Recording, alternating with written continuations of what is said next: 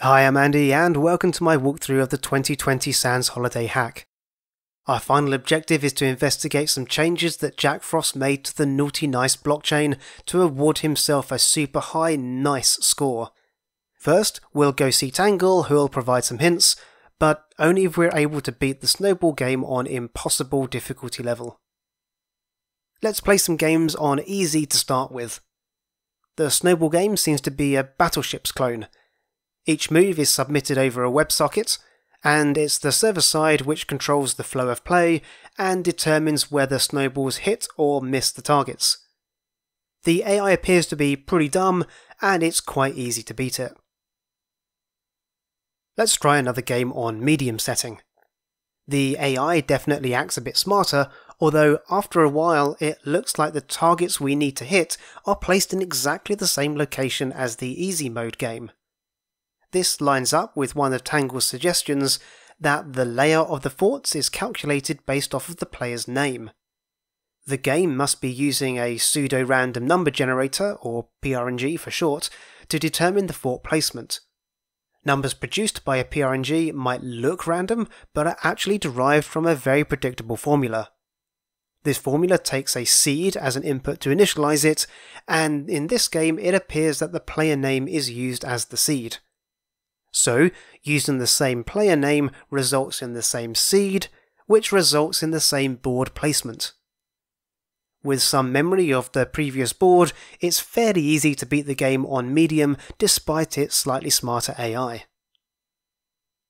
On hard mode, the option to specify the player name is greyed out, and can't be tricked by temporarily choosing an easier mode to set this field. The randomly chosen player name is however displayed on the screen. That means it's possible to copy it over to a separate browser session running another instance of the Snowball game and input it into the player name field on easy mode. We already know it's trivial to beat easy mode, and the knowledge of the fort placement in this mode can be directly translated over to the hard mode game. Things get trickier in impossible mode. No longer is the player name visible, and also the AI seems to be absolutely perfect. It scores a hit every single shot. To have any chance of beating it, the human player must also be 100% perfect and take advantage of the fact that the human takes the first shot. So, how can we gain knowledge of the game board in this mode? The pre-game description states that a few hundred pseudo-randomly generated numbers are thrown away before picking the actual one that is then used as the player name, and hence the seed for the main PRNG to determine the board placement but instead of being silently dropped, those discarded player names are instead printed in the source code as comments. It's not obvious what programming language is used on the back end, but regardless, it's likely to be using a Mersenne twister for the PRNG, as this is the most commonly used algorithm.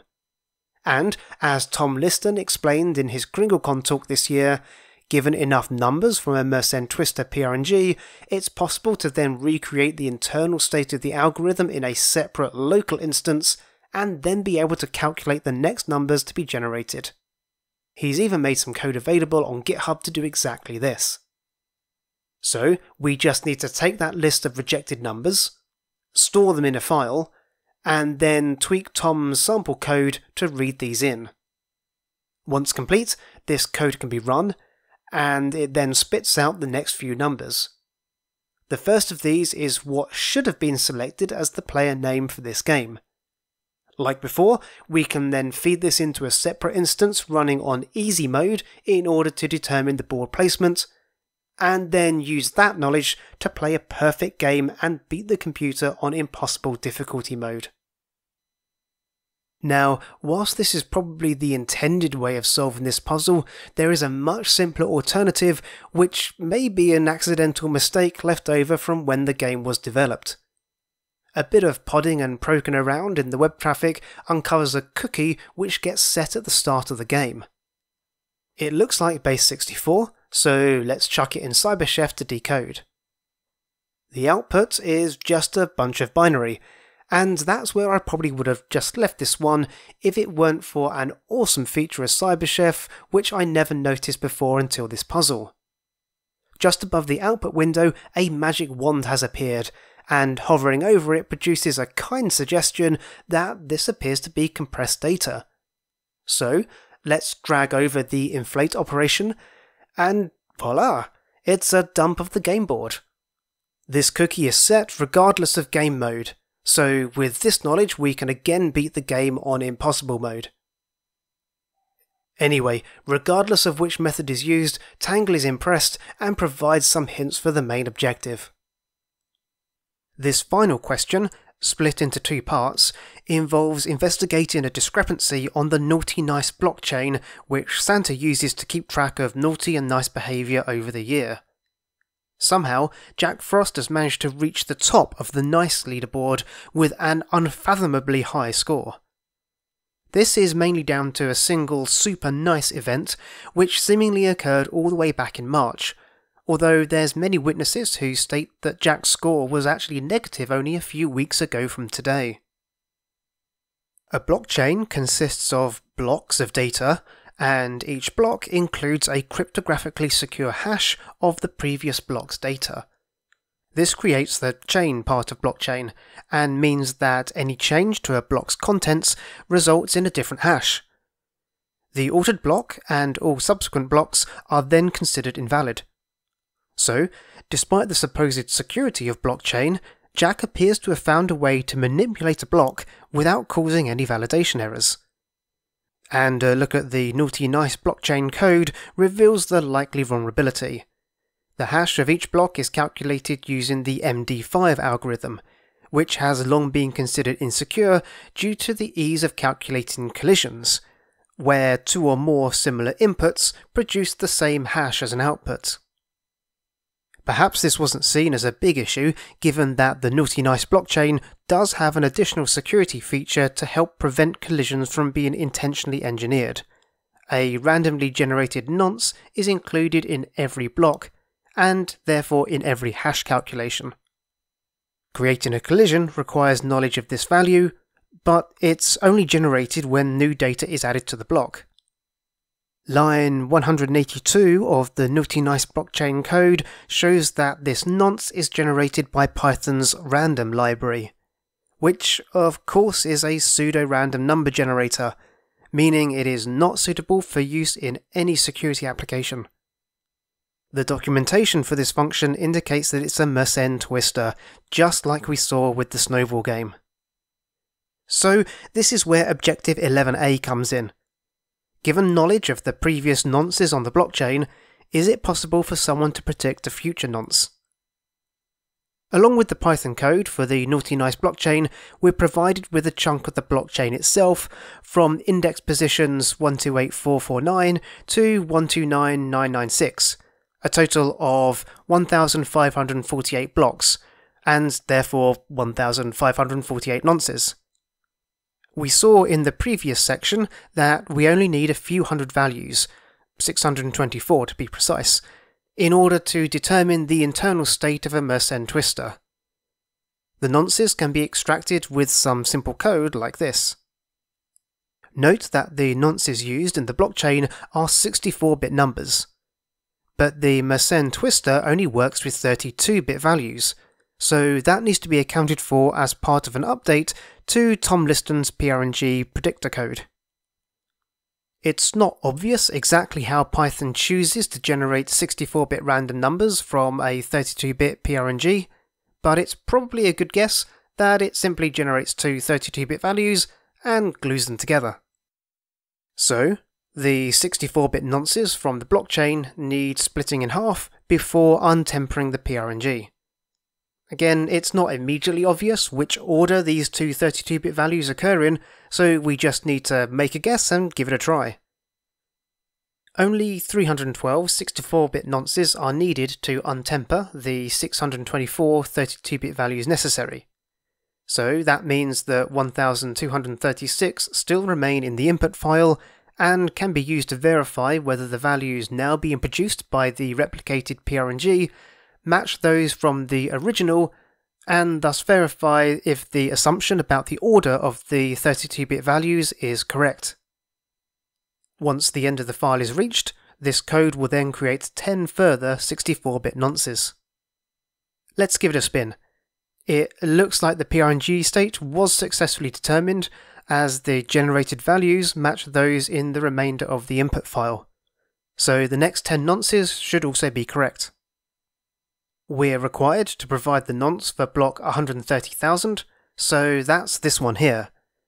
The answer is required in hex, but once converted, can be submitted to the badge to pick up the achievement. So it is indeed possible to predict future nonces for this blockchain. Now to dig deeper and try and find out what Jack has actually changed. We're given the SHA-256 hash of the block that he altered, and also told that he changed just 4 bytes. Let's find that block he altered. First, we'll need to add a function to the naughty nice blockchain code to calculate the SHA-256 hash of a block. And then print it out for each block. Then run that updated code, pipe the output through grep, and search for the last few digits of that SHA-256 hash. Jack altered block number 129459. Given that the chunk of blockchain we're working with starts at block 128449, that means that Jack's altered block resides at index number 1010 in the Python array within the Naughty Nice script. With another update to the Naughty Nice code, we can examine that block. We can also extract the entire block using the save a block function. First off, it's way bigger than any of the other blocks in this chain. It also states that some 4 billion plus nice points were awarded to person ID 12FD1. Uh, presumably, this is Jack Frost. This block contains two documents, which can be extracted with the dump doc function. One is just a small chunk of seemingly junk binary data. The other is a PDF, but its file size is again quite large considering it's just a text based report of supposedly nice behaviour by Jack Frost. We were told in the question that only 4 bytes have changed in this block, but how could just 4 altered bytes lead to both a vastly different score and presumably a different content in the PDF file? After all, the score field alone is a 4 byte integer. One possibility is that the score itself has not been changed, but perhaps just the naughty nice indicator which is just a single byte, has been flipped. Perhaps in the original version of this block, Jack didn't have a 4 billion nice score, but a 4 billion naughty score. Such an extreme naughty score is just as surprising as an extreme nice score, so let's see if there's any other clues we can uncover. Before turning to the PDF report, it's useful to recap that PDFs are formed from a series of numbered objects, such as pages, fonts, text, images, etc., and references between those objects to form a tree. Angie Albertini has some great explanations of this on his GitHub page, so do go check out his work if you're interested in further details. We can examine the PDF file from Jack's altered block in more detail with PDF Parser. This produces a report of all those individual objects which make up the PDF file. It's a little hard to see the relationships in text form, so here's the same information transposed manually into a graph. Now it's clear to see that there's two completely separate page structures, and one is orphaned from the document root. The objects which form this lower page structure still exist in the PDF file, but because they are not referenced from the document roots, they are never displayed. This is a scenario that Angie again describes in more detail, and specifically in the context of hash collisions. By changing just one byte in this file, the reference in the catalogue to point to the pages object with ID 3 instead of the pages object with ID 2, a completely different document will be rendered. Let's open up the PDF file in a hex editor and do exactly that. The alternative content hidden in this PDF file describes a situation where Jack travelled to Australia, kicked a wombat, and then feigning remorse, convinced Shinny to upload the incident with the maximum number of naughty points. But it seems like he also engineered some sort of technical issue to prevent Shinny from uploading the report straight away, and promising that he'd do it himself. but instead he must have used this opportunity to hide his own nice report into this PDF and construct the rest of the block in such a way that a hash collision would not only be possible, but also align perfectly to alter the content. This course of events backs up the earlier theory that the 1 byte naughty nice indicator has been flipped in this block, rather than adjusting the scalar value of the score. So it appears that just two 1 byte values need to be changed in order to toggle between the naughty and the nice versions of this block. But there's still the block hash to contend with in order to maintain the validity of the blockchain. For that, we'll need to take another slight detour to more of Angie Albertini's great work, this time his presentation and workshop on hash collisions. He explains several different flavours of collision, but for our purposes we'll focus on the UniColl variant, as this is specifically mentioned in his earlier work relating to hiding different documents within a single PDF. MD5 operates on its input data in chunks of 512 bits or 64 bytes. A UniColl collision involves the creation of two chunks of data which exhibit an important property. It's possible to alter the 10th byte of each chunk, incrementing one and decrementing the other, and the end result produces the same MD5 hash.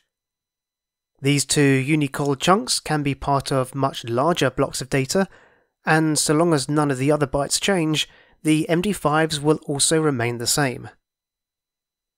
Armed with this intuition, it's now possible to put all the pieces of this attack together. To do so, here's the entirety of the block Jack altered loaded up into a hex editor. We can see the various block fields, followed by the first document, the small binary data file, and then the second document, the PDF report. The MD5 hash can be checked from the Tools menu of this editor. It's also useful to highlight the MD5 chunk boundaries. Note the position of the sign byte, which determines whether the score is treated as naughty or nice. It's the 10th byte of an MD5 chunk. Altering this from nice to naughty is a decrement of 1. So, if there were a UniColl collision present here, we would expect an increment of 1 on this byte here, the 10th byte of the subsequent MD5 chunk. This byte is within the content of the small binary file which forms document number 1. And now the purpose of this document becomes clear. This is the data which has been calculated by the collision algorithm as that which is necessary to engineer the collision. By defining this as a separate document in the blockchain, Jack has ensured that these values do not interfere with any aspect of the chain's operation. After performing the decrement and increment, the MD5 can be recalculated, and it's exactly the same. We found our collision. It's a similar story for the byte in the PDF which selects the other document tree. This too lines up exactly on the 10th byte boundary, except this time the first byte is an increment from 2 to 3. So that means that this byte here needs to be decremented. The collision engineering bytes this time fall within the comment section of the page object, so again do not have an adverse impact on the document. The hash can be verified once more, and again it's the same as the original.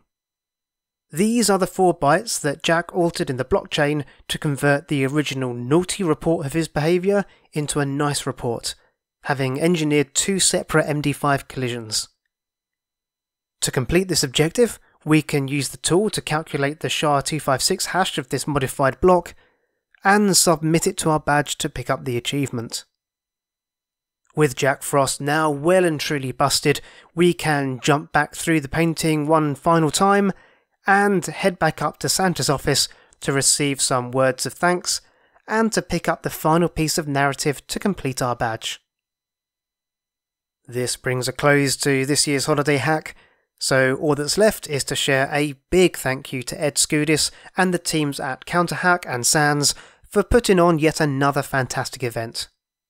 Don't forget that the game servers stay running for several years, so if you didn't get a chance to do any of the challenges but want to have a go, just head on over to the link in the video description. And if you're still in need of a little more cybersecurity content, feel free to check out some of my other videos. Otherwise, I wish you a very happy and healthy 2021, and I'll see you next year for more holiday hack adventures.